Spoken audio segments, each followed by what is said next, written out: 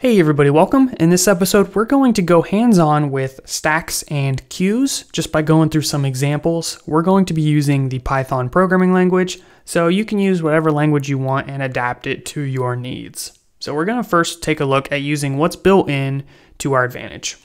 All right, so to create a stack, we're just going to use a list. So we'll say data. Let me zoom in a little bit for you guys and square brackets to create that, that list. And we can put some elements in here by default, but to show the behavior best, it's probably best to limit to just a few operations that are for stacks, which is the ability to push an element onto the stack and the ability to pop an element off of the stack. So to push an element, you actually use the append method and you pass the data in as an argument. To pop something off of the stack, you actually invoke pop. So that one fits nice, and that's going to be returned.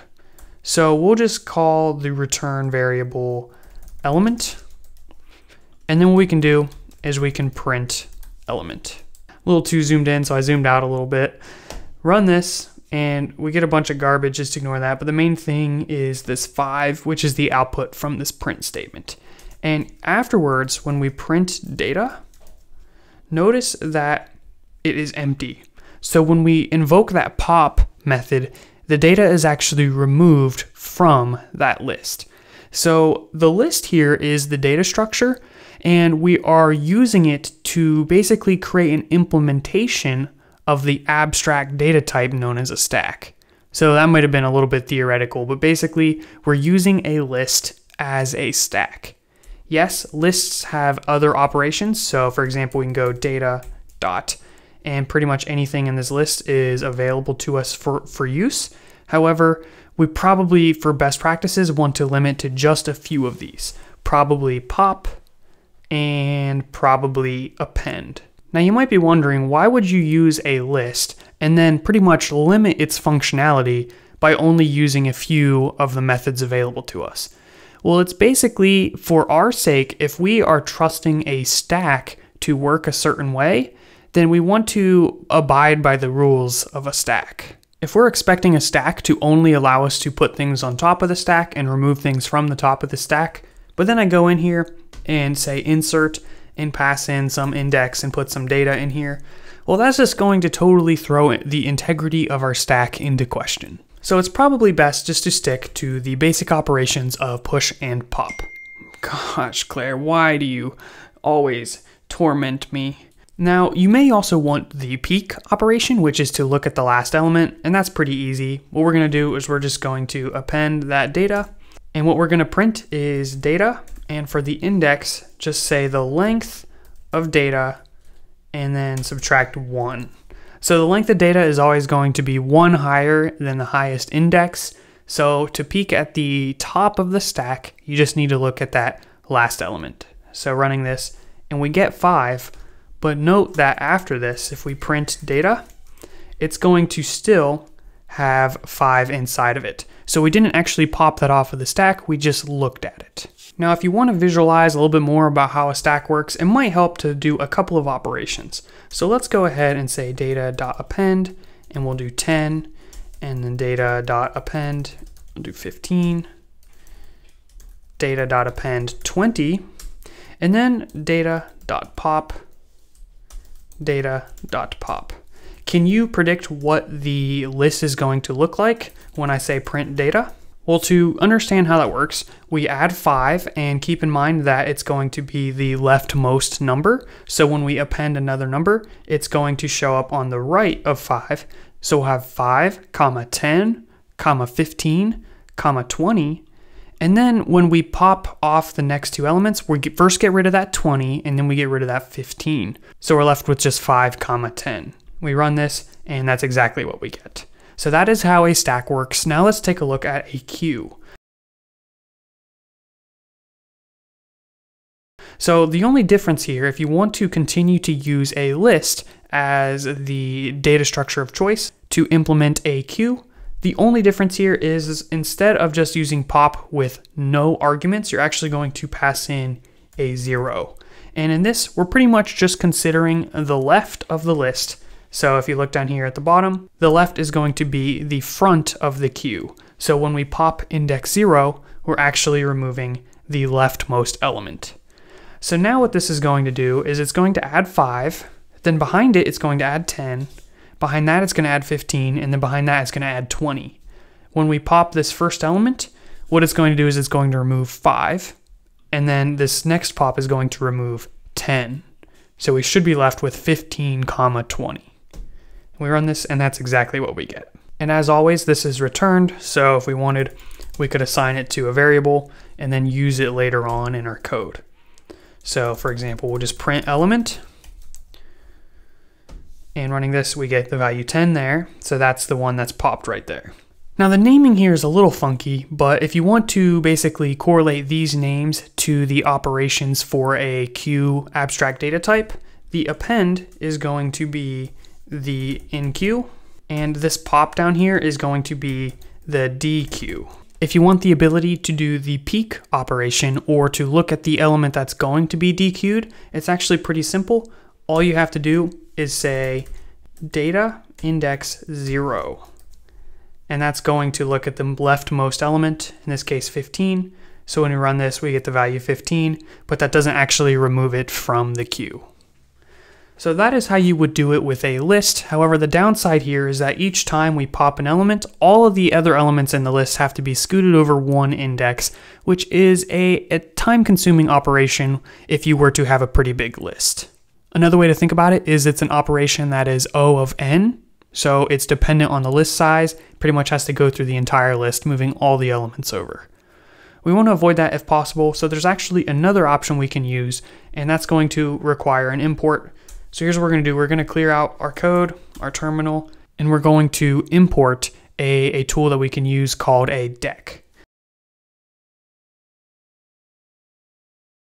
So from collections, import deque. I called this a, a DQ in the previous video, but whatever. I'm pretty sure it's pronounced deck.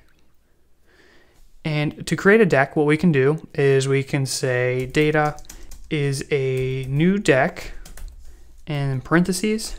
And the way you add data to this is pretty similar. You just say data dot, and then here's all the operations we can use.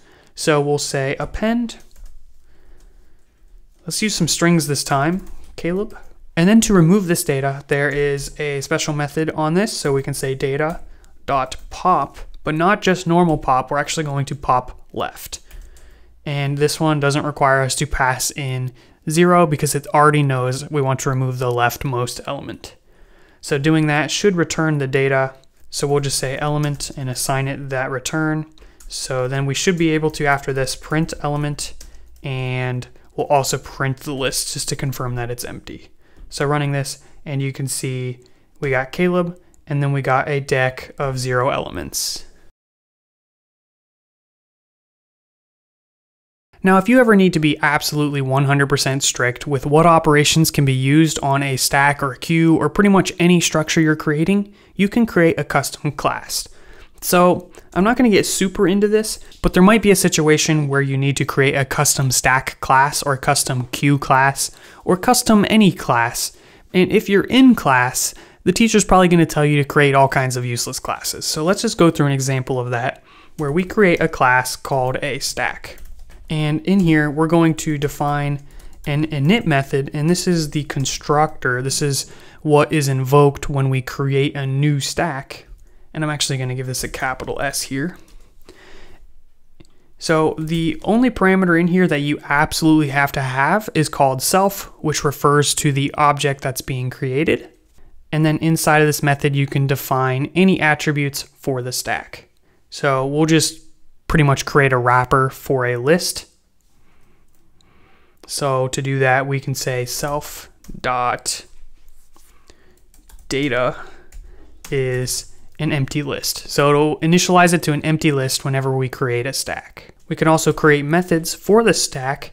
So as an example, we could say def and we can name it appropriately to match the stack behavior. So we can call it push.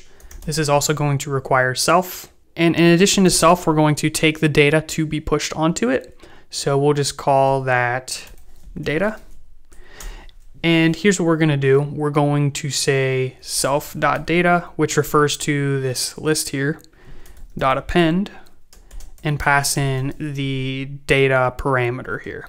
So you can probably tell we're not doing a whole lot. We're just pretty much giving a new name to something that already exists. But you could define any kind of custom logic in here or force a certain behavior, whatever you need. We're also going to create a pop, so def pop. This is going to have self, but we don't need to pass in any other data. It's always going to remove from the same index, so we don't need to take that as an argument. And then all we have to do is say self.data.pop and return this. Now it's a convention inside of Python whenever you have a private variable that is not really supposed to be exposed, you can just prefix it with an underscore. So we'll put dot underscore data and update that throughout this code. And now we can practice using this, see if I got any any errors anywhere. So what we're going to do is we're going to create a new stack variable. So to do that, we just use the uppercase stack. That'll invoke this initializer here. And then we can say stack dot, and look here, the only methods we have available to us now are pop and push. So we pretty much restricted just to pop and push. Now Python is fairly open, so if they really, really, really want to access that list, they can just by saying underscore data, and then they have all of these methods. However, it is clear from my perspective as the user of this class that I'm not supposed to do that because there's an underscore here. I should just be using these methods here. So we can, for example, push some data on, and then we'll just get that data back out by saying stack.pop. And then let's print test. So let's see if this works. I probably screwed something up. We'll run this. Oh, hey, believe it or not, it actually worked. All right, so that is how we create a custom stack. Now, it might be silly, but the point here is that we can basically define particular things that need to be met, such as push and pop, and then the actual logic to do those can be anything. We could do a similar thing by creating a class for a queue, or a priority queue, a heap, a map, Whatever abstract data type we're trying to represent, we can do that using custom classes and the implementation is irrelevant. All that matters is how we use that class.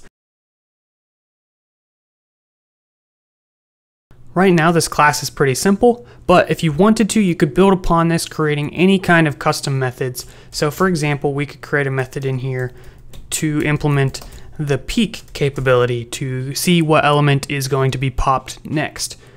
And for this, all we would have to do is return self underscore data and then just get that last element. So we would get the length of the same structure, self dot underscore data, and then outside of the length, just subtract one. So let's try this out. Before we actually pop something, let's print stack dot peek, and we should get the value 10 and we do we get the 10 for the peek, and then we actually end up popping that data off which is where that second 10 comes from when we print this variable here so hopefully that lets you see some of the different capabilities we could do when it comes to creating our own custom classes. Right now we're just using a stack, but you could create one for a queue, for a heap, a priority queue, a tree, whatever structure you want, you can create a class to represent that. The class is going to define the different behaviors and different things that need to be stored. And then when you actually go and create an object like we did here, that's when you create an actual example of whatever we're working with. So we're creating an actual stack and using it in these lines of code.